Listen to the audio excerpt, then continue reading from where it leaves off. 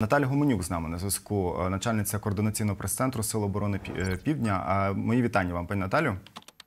Слава Україні, вітаю вас. Героям слава. Е, От маємо дуже добрі новини зараз під Бахмутом. Поки обережно до них ставимося, чекаємо офіційних підтверджень і більше роз'яснень, але все-таки сталося зовсім навпаки. Сталося дзеркально, так як мислив собі Кремль. Вони ж хотіли 9 травня щось як сказати на Кремлі на цій на Червоній площі, а нічого не вийшло. Як вам такі новини? Ну, в принципі, в моєму розумінні новини абсолютно логічні, тому що перемога одна і вона буде наша. А святкувати може хто завгодно. Е, Загалом, е, наскільки вдалою вийшла ця постановка, на вашу думку, тому що ми розуміємо, що все, що відбувалося в Москві, це внутрішня аудиторія, це потримання цього е, духу побідобєсія, але все скупонько якось було, якось зовсім економненько. Танк один нещасненький проїхався, якось там 30 якогось року, і техніки могло бути більше, і льоту ніякого не було. Ну, напевно, в них має статися такий період усвідомлення. Знаєте, як в психології кожного кожної події є певні етапи, і зараз в них вже там має наступити період прозрівання і усвідомлення того, що власним очам варто вірити. Те, що вони побачили, і є могутність їхньої другорядної армії світу. Е, Тепер щодо оперативної ситуації, хочу з вами обговорити, чи є ризик нових атак е, з моря, зокрема, оскільки ми в цю ніч якось більш-менш спокійно, якщо на загал дивитися, не по фронтовій лінії пережили.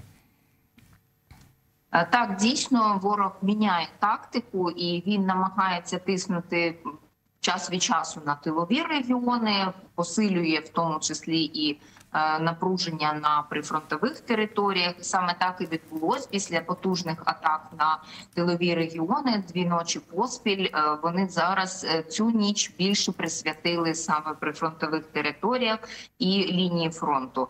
Активізувалися дуже потужно активізувалися обстріли, зокрема Херсону. Знов починають активізовувати вони зараз свою авіацію тактичну для використання керованих авіаційних бомб. Е, Знов били ракетами по е, тих регіонах, куди досягає С-300. І е, це все в намаганні того, щоб продемонструвати, що сила в них є, вони ще поборять це, як то кажуть. І е, зараз те, що відбувається в сенсі накопичення ресурсів, воно говорить про е, можливі повтори. Зокрема, в Чорному морі продовжують перебувати п'ять ракетоносіїв, один з яких підводний, і з урахуванням випущених напередодні ракет е, калібрів вони несуть сумарно до 28 одиниць калібрів. Тому загроза висо- висока ракетної небезпеки, і треба дослухатися сигналів повітряної тривоги.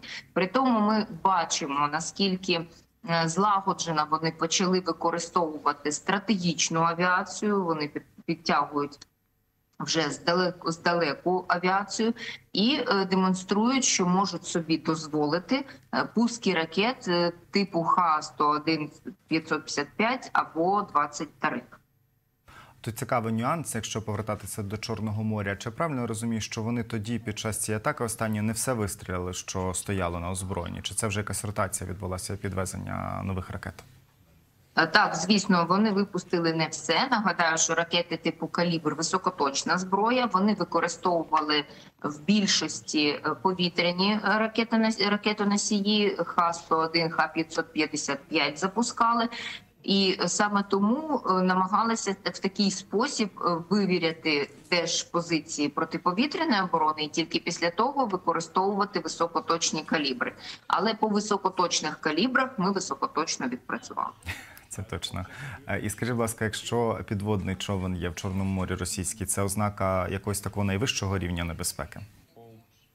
Е, Не найвищого, але підвищеного, оскільки там може бути чотири ракети типу калібр, які пуск яких складніше виявити сам стартовий пуск, але потім наздоганяємо протягом е, періоду перельоту. Е, Все ж таки, перебування е, підводного човна це, як правило, демонстрація такої, знаєте, різноманітності потужностей російського флоту. Вони намагаються продемонструвати, що мають різні способи впливу і тиску на наше населення. Ясно, з цим по Херсонщині хочу з вами е, конкретніше по- поговорити. Е, Ми бачимо, що останній тиждень е, все більше населених пунктів фігурують як такі, які були обстріляні або атаковані цими керованими авіаці- авіаційними бомбами тяжезними. Зокрема, Кізомис або Кізомис, даруйте, не знаю, як правильно наголос. Населений пункт туди поцілили. Активізація про це говоримо. Е, Вони в принципі обрали для себе напрямок Херсонського району саме там, е, в напрямку Кізомису, тому що е, їм вважається, що саме там мають бути зосереджені сили, які планують вирушити в бік лівобережжя. Знов таки певним чином це спровоковано упередженим таким і передчасним повідомленням в засобах масової інформації про потужності наших сил на лівому березі, і так само вони і зреагували. Тобто, дзеркально, якщо там підвищилось, е, то е, треба туди і підвищилась небезпека для них, то треба туди спрямувати свої удари. Але за е, фото-відеофіксацію можна бачити, що е, потерпають е, людські приватні обійстя, зруйнована церква, до речі, московського патріархату, зруйнований фельдшерський пункт. Абсолютно е, красномовне порушення міжнародних норм гуманітарного права і те, що порушуються правила ведення норми норми законів ведення війни. Про церкву, до речі, сама Російська Федерація вирішила питання переходу цієї парафії, мабуть, як би це не звучало зараз з моїх вуст. Е, Херсон е, напередодні ввечері змі повідомляли про вибухи в місті. Чи є підтвердження, і власне що відбувалося?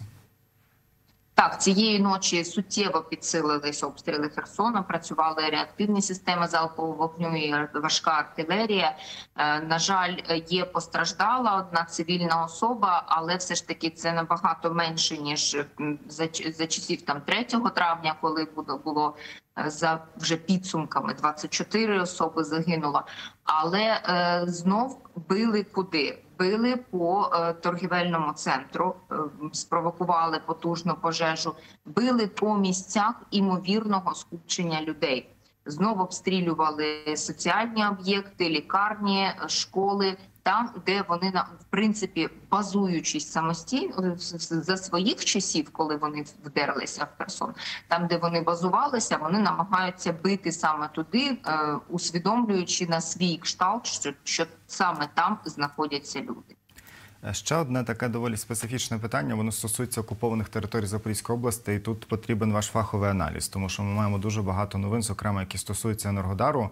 І, е, зокрема, Генеральний штаб говорить про те, що Росія розпочала вивезення з окупованої частини Запорізької області дітей дошкільного і шкільного віку. Це одна новина. А інша новина є у нас від е, мера Енергодара про те, що непроста ситуація в місті, і оця евакуація, по суті, депортація, вона зараз діє саме в Енергодарі. Банкомати не працюють, автозаправні станції закриті, е, з магазинами проблема і аптеками. Що це таке? Що це за вигляд зараз роблять росіяни? Чи не роблять, а навпаки, це справді відбувається?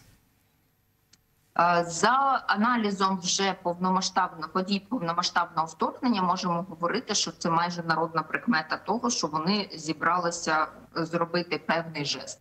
Але ми не чекаємо від них жестів доброї волі. Ми працюємо над тим, щоб е, цей жест був максимально лаконічним і ефективним з точки зору е, звільнення наших територій. Але не треба забувати, що в умовах гібридної війни вони в такий спосіб неодноразово намагалися спровокувати ефект свого залишення населених пунктів для того, щоб е, викликати штучно рух сил оборони саме за цим напрямком. Вони таке саме е, вчиняли і на Скадовському напрямку. Зараз Запорізький промацують.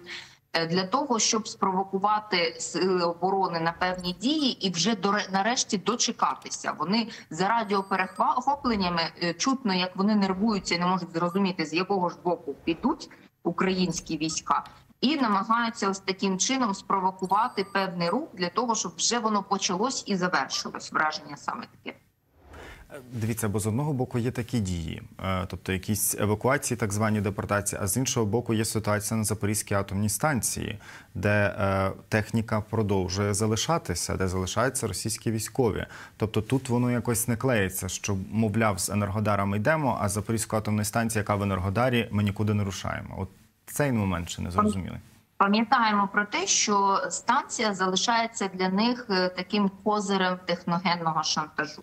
Вони продовжують тиснути на світову спільноту, як їм здається, саме тим, що е, є загроза, є загроза для дуже потужного об'єкту, як е, наслідки влучання в який можуть бути критичними не тільки для українсько-російської війни і для цих цих народів, а можуть бути мати дуже негативні наслідки в цілому для континенту. Тому е, там вони будуть залишати свої сили до тих пір, поки цей шантаж буде вдаватися їм ефективно.